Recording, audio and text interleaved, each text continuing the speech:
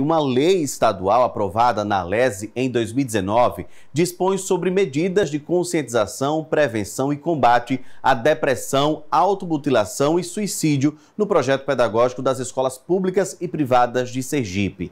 A autoria do texto é a deputada estadual Maísa Mitidieri, do PSD, e é com a parlamentar que eu converso a partir de agora sobre o tema. Deputada Maísa, seja muito bem-vinda ao Jornal da LESE, um texto né, de sua autoria extremamente importante, visto que hoje é comum ver adolescentes e crianças com pensamentos suicidas e tratando também a automutilação como uma forma muito comum dentro das escolas. Esse projeto traz essa conscientização, não é isso? Boa tarde.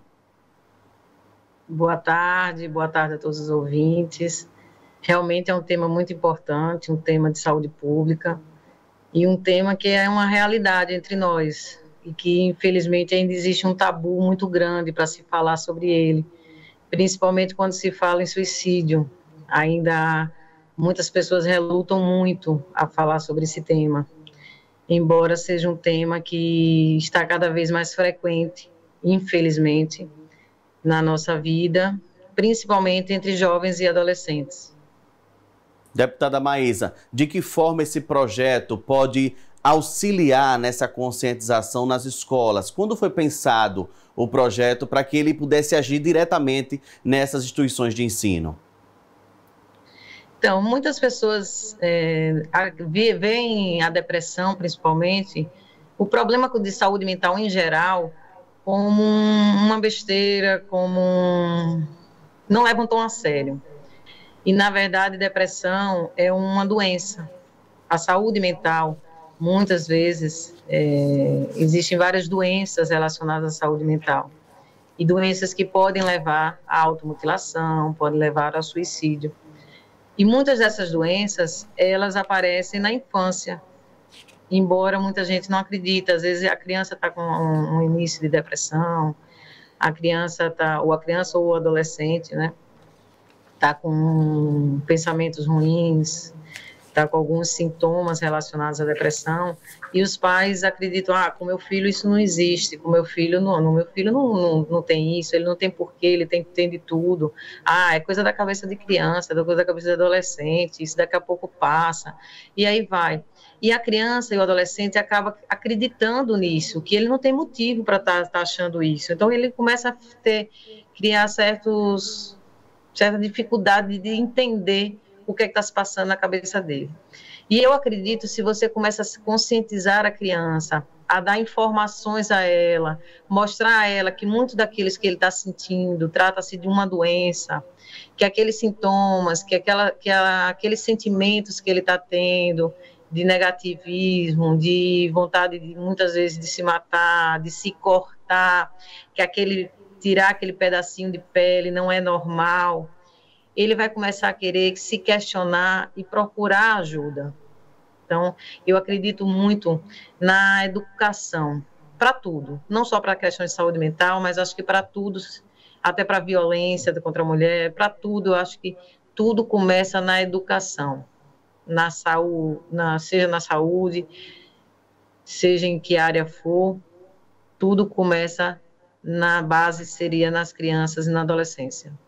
E aí a gente percebe que no texto do projeto de lei diz que as escolas devem incluir no seu plano pedagógico anual formas de conscientização sobre isso, porque a educação, como a senhora bem falou, é a base de tudo, né, do conhecimento para ter respostas daquilo que está acontecendo. Então, não só para os alunos, mas também como para as famílias, através desse suporte que as escolas públicas e privadas devem dar no plano pedagógico, possam ajudar a seus filhos a tratar essa situação, né? Porque é, não só as, as crianças devem demonstrar isso nas escolas, mas em casa também, né, deputada? Com certeza, né? Não só nas escolas, como em casa, né? Ele leva, leva para casa também. Mas ele passa um bom tempo da sua vida dentro das escolas, né? E às vezes ele sofre dentro das escolas com um certo bullying, pode acontecer.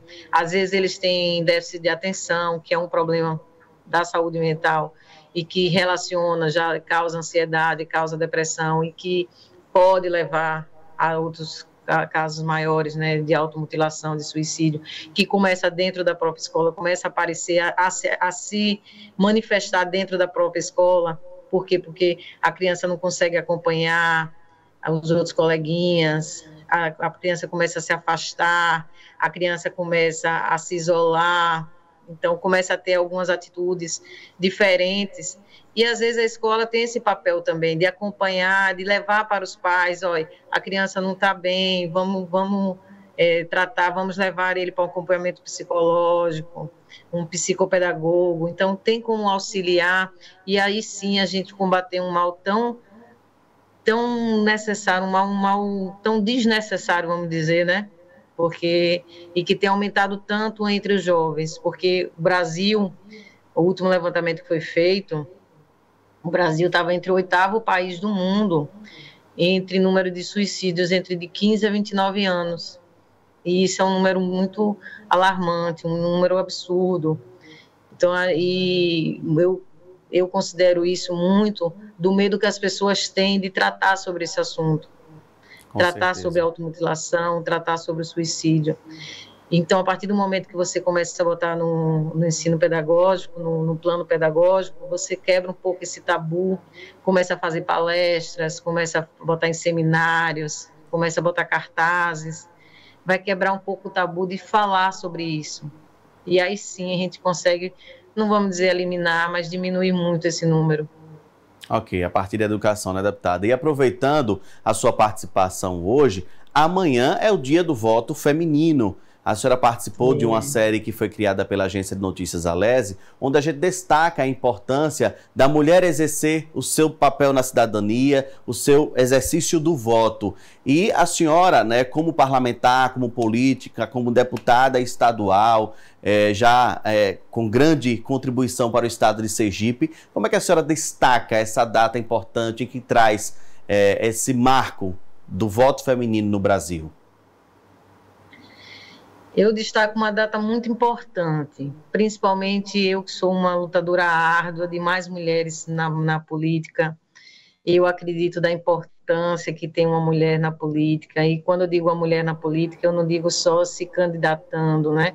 Não só dispondo, é, colocando seu nome, seu nome para é, se candidatar, né? A dispor seu nome para um cargo público, mas também de se envolver com a política em geral, em assuntos que envolvam a política, porque política para mim é o dia a dia. No, no nosso dia a dia, tudo está envolvido com a política. E as mulheres muitas vezes não querem tocar no assunto, se eximem. E eu acho tão importante quando a mulher defende os seus próprios direitos, correm atrás e pegam ele assim, dizem assim: não, eu vou buscar os meus direitos. E isso é muito importante. Isso começou com o direito ao voto. Então, é de fundamental importância essa data. Foi o pontapé de tudo para que a gente começasse a ter um empoderamento nosso, um empoderamento das mulheres. Faz parte da luta das mulheres pelos seus direitos, pela igualdade de gênero. Então, por isso eu considero um marco na luta das mulheres.